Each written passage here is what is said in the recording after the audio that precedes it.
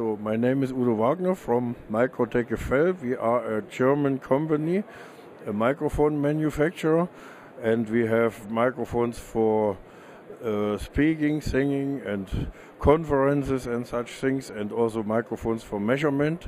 But uh, we want to speak about this one. This is a line array microphone, KEM 975 and this microphone is used very often for conference systems but also for music recording and also on a speaker desk like here on the picture we have different application in one picture that is a, a project which was developed together with IRT from Munich and with our company.